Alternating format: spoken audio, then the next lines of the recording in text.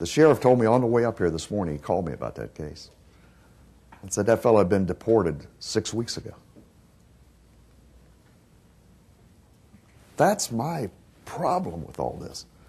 I'm willing to work with any of you to make it easier and better in the, in the, uh, the process. But you can't change the process until you change the way people are coming here.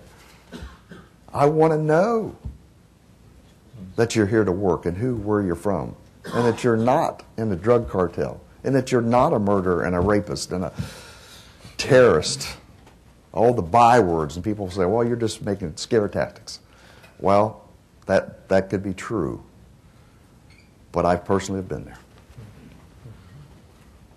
Uh, the question is for Ms. Wong. Uh, let's talk about unskilled immigrants. Uh, I believe the prevailing wage in Mexico is well under $1 an hour. Uh, the minimum wage in the United States is above $7 an hour.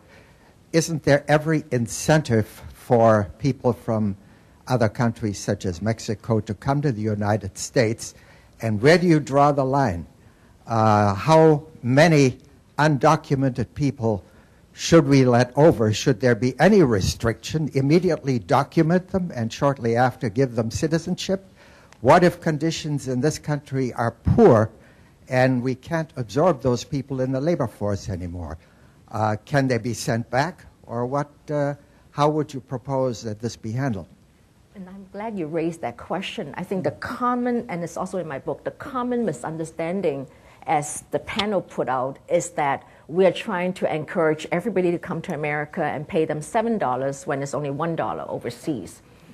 And also, we do agree with the sheriff and Mr. Combs that these people should not be over. That's why, absolutely, we need to be, have enforcement by the border. And that's why I raised that question. It's we need it. There's no question about that. But what I'm saying is for people who's already here, and for that 40% of that, those people who came legally and became out of status, or who were ordered deported but never got notice they, they had a final order of deportation, suddenly someone picked them, put them in jail.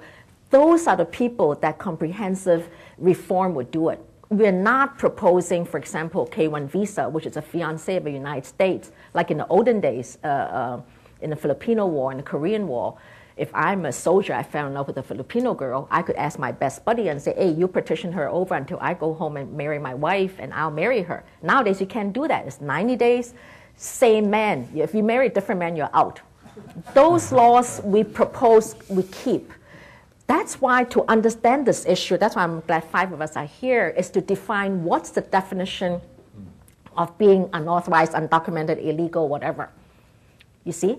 And you are right. We don't encourage them to come. We don't want them to come. We want our people to have jobs and pay for a house. What good is even making seven dollars when they can buy a house and close down a Chinese restaurant? And you are absolutely right. We don't encourage them, and we need the borders to be closed. Not closed, but at least build walls so they don't come. I hope I answered your question. Yeah. Hi. Um, don't disagree with anybody, uh, but I do want to kind of redirect the issue. The immigration issue always gets run, a, run into or hijacked by the illegal immigrant issue. Cleveland is a city that's struggling to stay alive. There are other cities that are being far more aggressive in attracting talent. Sorry, Richard. Immigrant talent, migrant talent, Richard, you have a good, uh, really directing this at you. You've been to some different cities, and could you tell people what other cities are doing? They, a number of them took our ideas, frankly, which we haven't been able to get implemented. Well, uh, this is Harry Weller, and, and uh, thanks, Harry, for that question. Harry is uh, uh one of the leaders in a, in a movement here in, in, Northeast Ohio to create an international welcome center that would help uh, welcome, even attract, and integrate immigrant uh, homeowners, families, uh, professionals, investors into our community um, to, to raise the opportunities for everyone here. We've been studying different cities uh, around the country that have these programs. And uh, I was in Louisville a couple weeks ago. They've got uh, uh, an initiative in their Chamber of Commerce called the Greater Louisville International Professional Group. Um, there's initiatives in Indianapolis and Boston and Philadelphia. I mean, the bottom line is you know, we need to keep reminding ourselves that immigrant is not a dirty word. Uh, it never made George Carlin's list of the seven dirty words you couldn't say on TV. So it's not a dirty word. And uh, whether they're lower skilled or high skilled, now I'd argue that uh, people working on the farms and, and, agricultural, those are skilled jobs too. I mean, try to do that job for a day. Um, and what kind of skill and, and, and energy and, and, heart you have to do those jobs every day. Um, we're talking about building an intercultural community. It's, we have room for everyone. Really do. And, and we don't need to have these artificial barriers between us. So um, in a city that, like Cleveland, used to have almost a million people in the inner city, in the city proper, we now have uh, probably under 400,000 uh, in the city.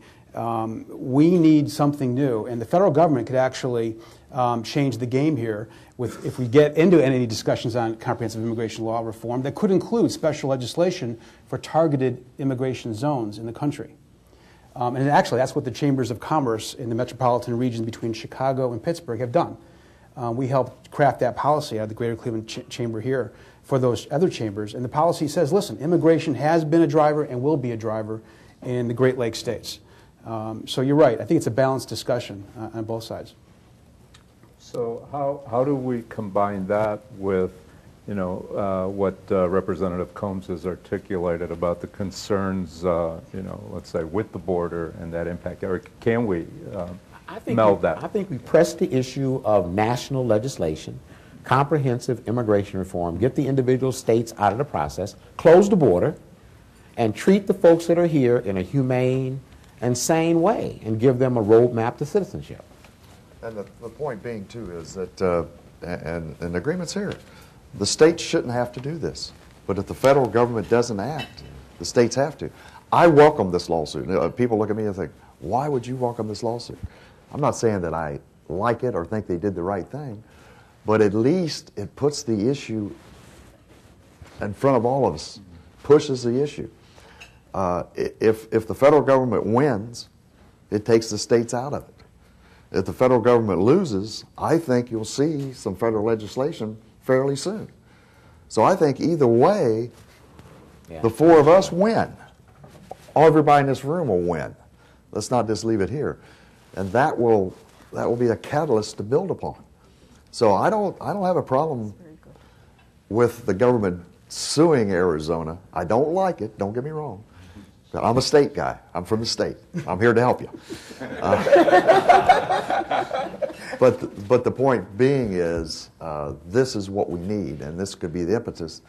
I don't. Th- I'm willing to be part of the solution anytime, anywhere, anyhow. But my main goal is you can't do it if you just leave that border open. As the gentleman said here, when is enough enough? One county, a thousand a day.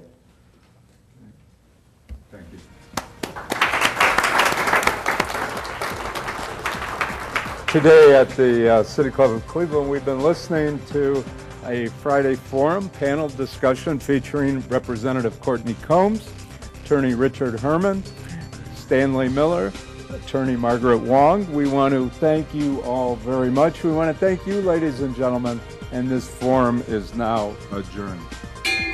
For information on upcoming speakers or for podcasts of the City Club, go to cityclub.org.